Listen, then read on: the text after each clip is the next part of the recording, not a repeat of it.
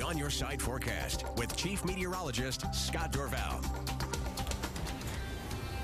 My name is Charles, and I go to Central Elementary. And which place has the most extreme weather?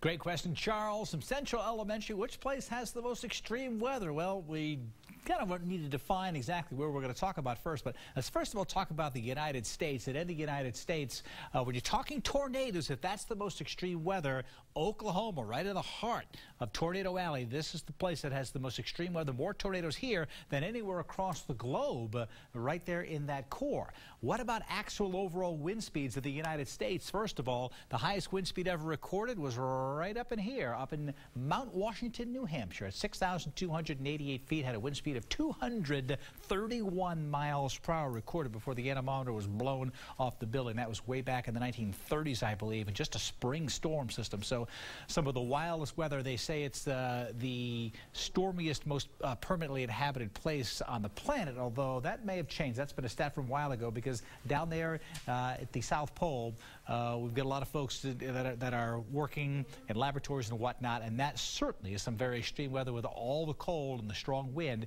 It's actually a desert down there, but you get extremes in different natures all around the entire uh, world. But again, in the U.S., you have those two extremes right there. Then, of course, you have fire dangers as well. So, great question Charles from Central Academy in uh, Nampa. Another question coming up in my special weather segment here in just a little bit. Let's first